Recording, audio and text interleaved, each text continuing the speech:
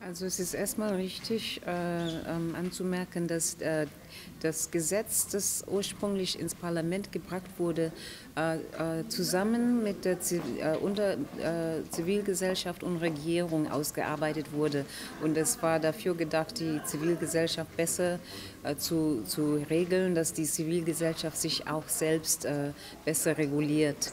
Also am Anfang war das ein konsultatives, positives Prozess. Was passiert ist, ist, dass als die neue Regierung an die Macht kam mit einer explizit anti-Zivilgesellschaft ähm, äh, Strategie, dann wurden ähm, Veränderungen eingeführt ins Parlament äh, in einem Prozess, das eigentlich ein administratives Prozess war. Das Gesetz war schon vom Parlament verabredet, vom Präsident, vom vorherigen Präsident unterschrieben und es sollte nur noch äh, operationalisiert werden vom Ministerium, vom Ministerium. Das passierte nicht.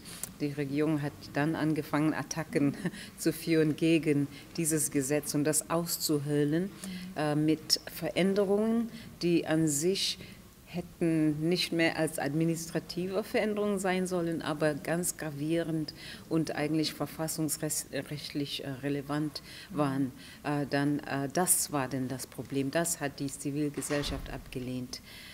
Und ähm, die, der Stand der Dinge ist, dass es gibt einen Prozess, den wir führen und das ist noch äh, in den äh, das ist noch vor den Gerichten und aber diese Regierung hat äh, sehr viel Verachtung gezeigt für äh, für das Gesetz, für the rule of law mhm. und ähm, und äh, die, Sachen werden durch durch den Gerichten geschleppt. Also mehrere Strategien wurden vorgenommen. Was interessant war, dass die Zivilgesellschaft, die normalerweise sehr ähm, getrennt äh, arbeitet, also entwicklungspolitische Organisationen für, für, sich, frauenrechtliche Organisationen für sich und dann die äh, politischere Menschenrechtsorganisation, äh, äh, Good Governance, also Governance äh, die normalerweise arbeiten sie nicht so viel zusammen, aber diesmal haben sie sich zusammengetan und, ähm, und zusammengearbeitet. Sie haben Lobbyarbeit geführt, sie haben die Abgeordneten äh, mit den Abgeordneten gesprochen, besonders die, die in Regionen gelebt haben, die sehr von der Zivilgesellschaft abhängig waren, die sehr von der Unterstützung und Hilfe von, von Nichtregierungsorganisationen profitiert haben.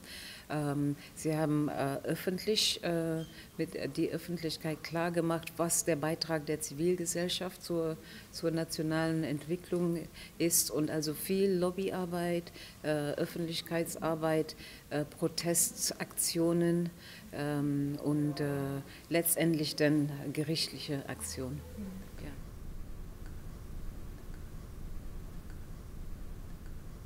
Also dieser Diskurs gegen Einmischung von außen ist eine Instrumentalisierung äh, von der Regierung, die jetzt an der Macht ist. Die kamen an die Macht mit, mit diesem Diskurs, äh, die sehr da, darauf ausgerichtet war, ähm, jede Art von externe sogenannte Einmischung, die auf gute Regierungsführung, Menschenrechtsunterstützung ähm, äh, zielte, um das zu, ähm, zu delegitimieren und die Zivilgesellschaft zu delegitimieren. Sie kamen an die Macht mit, der expliziten, mit dem expliziten Plan, äh, die Zivilgesellschaft einzuschränken und ihrem ihre Macht, wie sie sagte, mhm. einzuschränken. Äh, also das ist ein Diskurs, das ziemlich erfolgreich gewesen ist, aber eigentlich im Kern ähm, unehrlich ist. Ähm, aber äh, es war erfolgreich insoweit, dass die westlichen Länder, die, die meistens ähm, für Menschenrechte gesprochen haben, sich geäußert haben, weil sie ja die Regierung unterstützt haben ähm, und dadurch das Gefühl hatten, dass sie das Recht hatten, ähm, etwas zu sagen. Sie wurden sehr, äh, sie wurden sehr eingeschüchtert und auch angesichts der der Konkurrenz mit China und Indien und anderen Ländern, äh, da haben sie schon ihre, ihre Stimmen wurden sehr, sehr, äh, sagen wir mal, geschwächt. Ja. ja.